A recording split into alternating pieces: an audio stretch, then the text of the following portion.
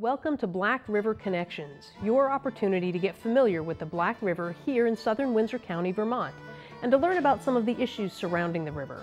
We'll also explore some of the great opportunities for you to get involved in enjoying, improving, and protecting this incredible resource. I'm Kelly Stettner, founder and director of the Black River Action Team, an all-volunteer grassroots group doing projects around the 202 square mile watershed since 2000. From the headwaters in Plymouth and the North Branch in Reading to Springfield, where the Black meets the Connecticut River, BRAT is interested in every community in the watershed. From water quality to property values, from recreation to public safety, we're here to make Black River connections with you.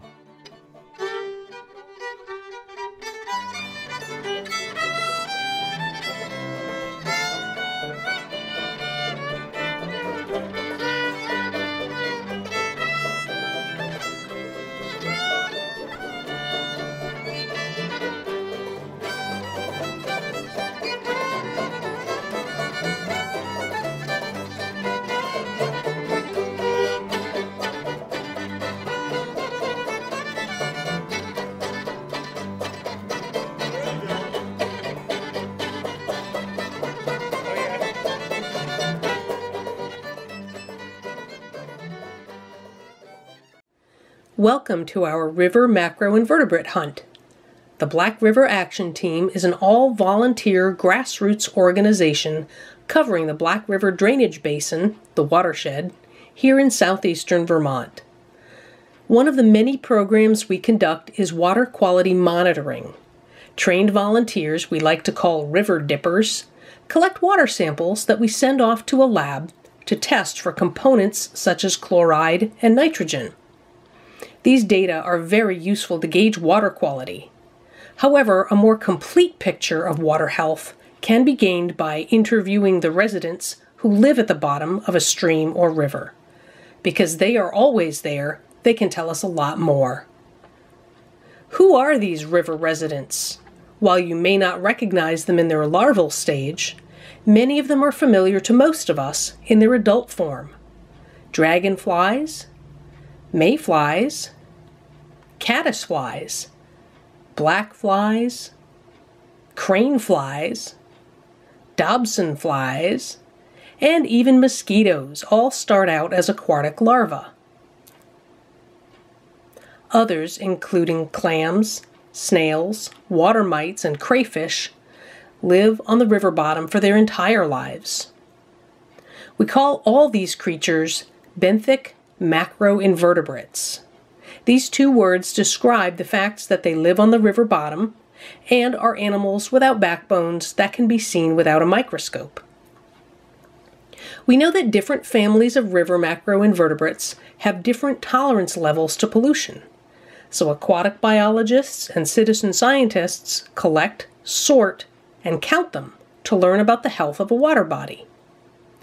Black fly larvae, for instance, are considered generally pretty tolerant of most pollutants, while most stonefly larvae are considered intolerant and are therefore a good indicator of a healthy stream or river.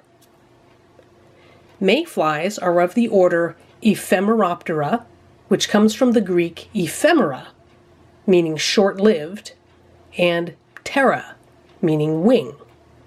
This refers to the extremely short adult portion, or winged portion, of the insect's life cycle. Most species only live as adults for a matter of days or even hours, long enough to molt a second time, the only insect with two adult stages, mate, and lay eggs. Then they die en masse, leaving enough eggs in the water to ensure the second generation.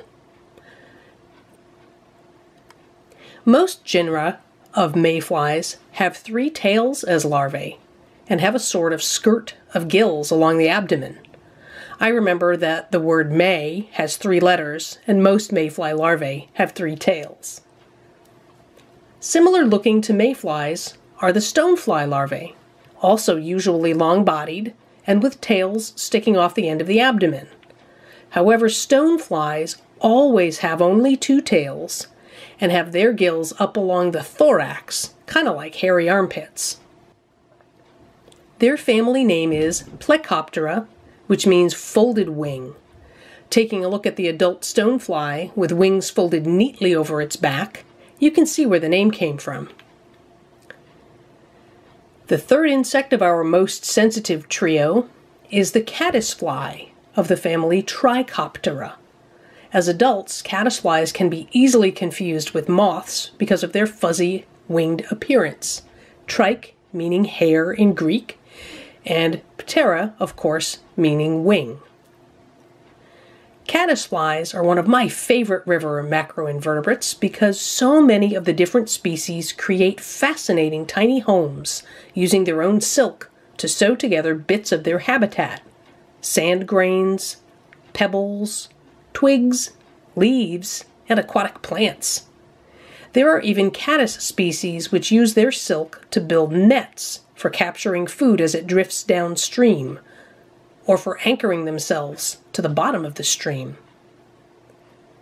What we're looking for in our samples is a large number of creatures. We aim for a hundred or so in a sample, as well as a diverse population. Lots of different kinds of creatures, but also specific intolerant families, genera, and species. That's usually stoneflies, most mayflies, and many caddisflies. Due to the ice coverage at these streams in late February, it was difficult to access the full range of habitat types across a large section of each stream, so our total numbers of creatures is a little under the 100 creature target. I had several helpers in the macroinvertebrate hunt you're about to see. Antioch University grad Megan Rafferty of Keene came up to help dig in the icy waters of the Black River and Chester Brook in late February and early March.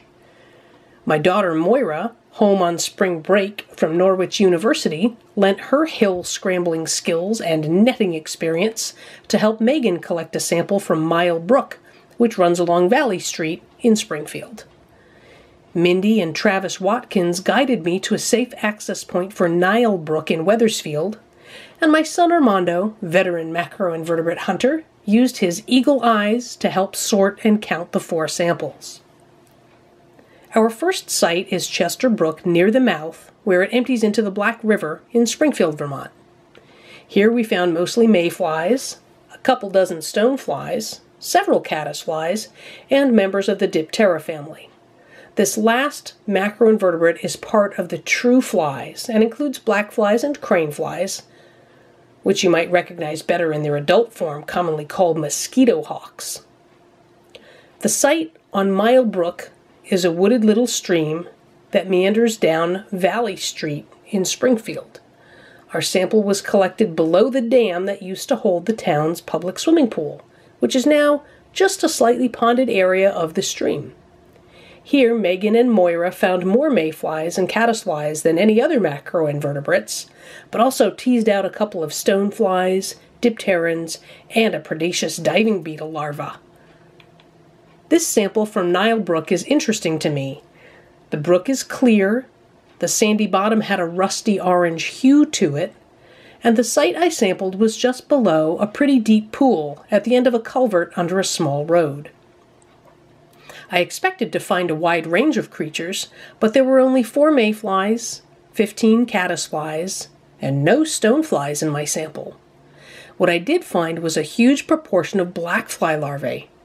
While black fly larvae thrive only where there's a high level of dissolved oxygen, they are considered pretty tolerant of pollution. I'll be keeping my eye on Nile Brook and will stop back to visit this site throughout the summer.